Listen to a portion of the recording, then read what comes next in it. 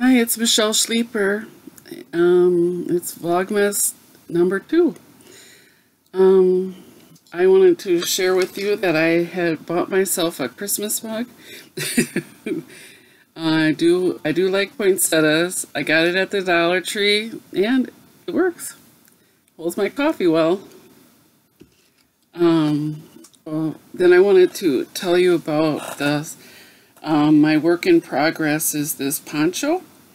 I'm making it with sweet rolls and I don't remember um, what they're called. I think it's cinnamon pop or something like that. And um, I think I'm, I think I've used three or four of them already, and I'll probably use uh, one or two more.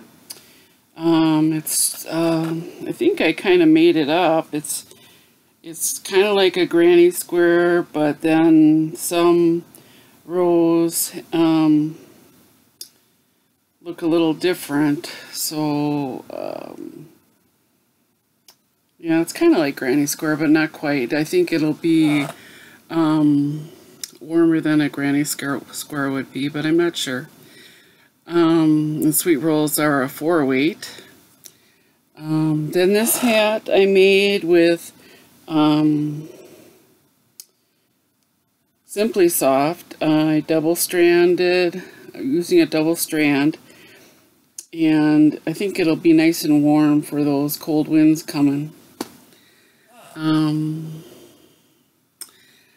oh, I got um, a Christmas card today, and it's from Helen in um, the UK, and I it made me so happy. Uh, I forgot to bring it in though. Uh, I will show it to you next time around. But um, I just wanted to let Helen know that I did receive her card and thank you so much for sending it to me and for thinking of me. Um, you always make me feel good and you always make me feel special. So thanks again.